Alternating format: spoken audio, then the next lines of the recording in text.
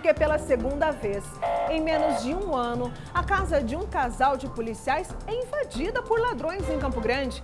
Em setembro do ano passado, um outro bandido invadiu a casa e foi baleado. E desta vez, na madrugada de hoje, outro criminoso foi encontrado em cima do muro. E ao desrespeitar a ordem para se render, saiu correndo e levou um tiro. Vamos ver. A movimentação de policiais foi intensa pela manhã na região do Leblon.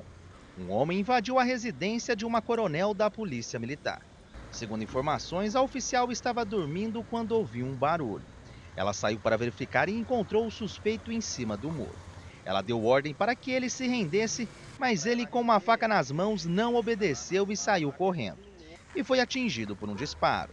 Depois de ser atingido, o suspeito correu por cerca de 100 metros por essa rua. Ele então caiu nesta calçada em frente a essa residência. O SAMU foi acionado e ele foi levado com vida para a Santa Casa aqui da capital com ferimento no tórax. Essa não é a primeira vez que criminosos tentam invadir a casa da oficial da PM. Em setembro do ano passado, um outro ladrão entrou na residência armado e, ao fugir, foi baleado. Ele ficou internado na Santa Casa e foi preso.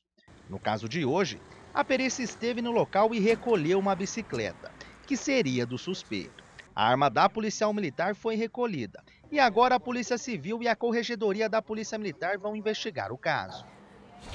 Olha, gente, eu falo para você, é muita audácia, né?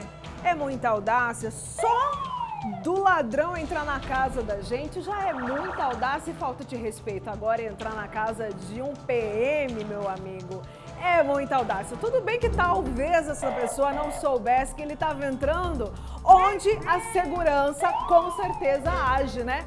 Dentro da casa de policiais militares de Mato Grosso do Sul.